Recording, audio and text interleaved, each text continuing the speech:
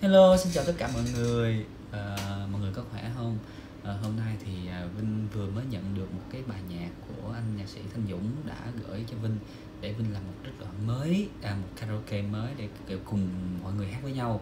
À, Mọi người à, xem cái công đoạn Vinh thu âm à, rồi, à, rồi Vinh làm cái gì để ra một cái đoạn nữa. Nhưng mà trước mắt là phải thâu trước cho mọi người.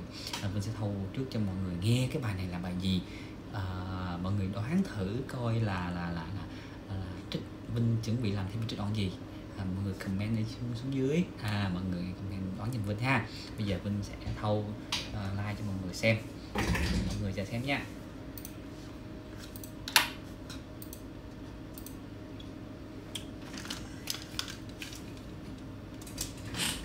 Đứng đứng đứng dậy hát mới có hơi nha mọi người.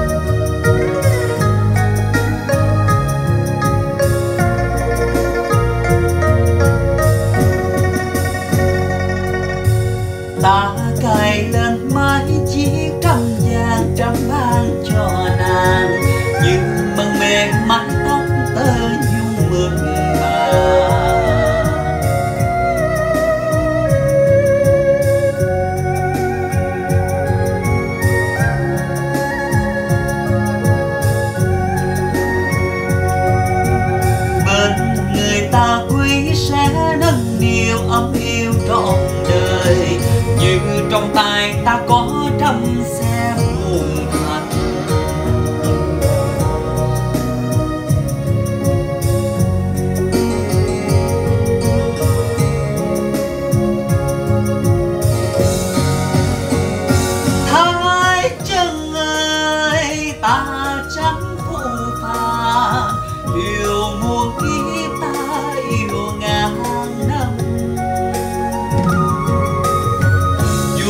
sóng gió ba đào nhưng lòng trăm năm vượt qua bao tố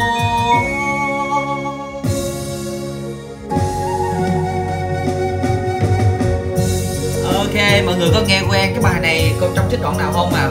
Mọi người à, đoán được mọi người comment phía dưới. À, Đó thì xem comment trích đoạn này là trích đoạn gì ha. À, Bây giờ thì à, Vinh xin phép à, à, mix lại cái này để rồi à, Vinh sẽ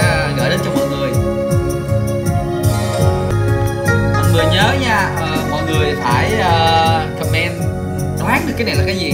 Uh, tiếp theo là mình sẽ làm một trích đoạn gì. Cảm ơn mọi người rất là nhiều. Mọi người nhớ theo dõi bấm subscribe like kênh.